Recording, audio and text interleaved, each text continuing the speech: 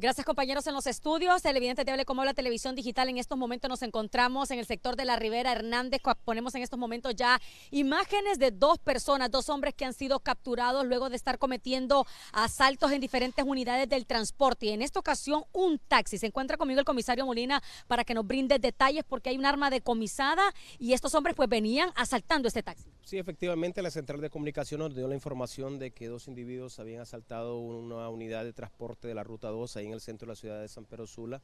Eh, por lo que se le alertaron las fuerzas policiales y se le dio persecución al punto de darles captura acá en el sector Rivera Hernández, donde se le dio detención a los jóvenes Tony Alejandro Parrosales de 28 años y Erickson Roberto Bonilla de 19 años.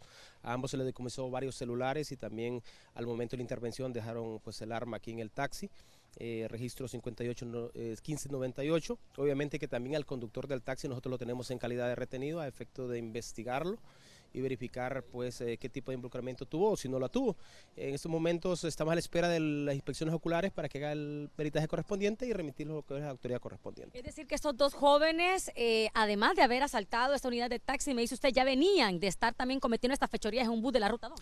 Bueno, si es que fue en la ruta, en el bus que habían asaltado y eso es la información eh, preliminar que se nos dio y pues afortunadamente con las cámaras se logró detectar el vehículo en que se transportaba y pues nosotros eh, iniciamos lo que es la operación policial al punto de darle la captura correspondiente. Entonces, al parecer ellos aquí solo se habían subido al taxi para poder huir y venir hasta acá al sector de la Ribera. Eso es lo que preliminarmente manejamos y como le mencioné, queremos verificar el, eh, qué tipo de relación hay con el conductor y pues si hay responsabilidad o no.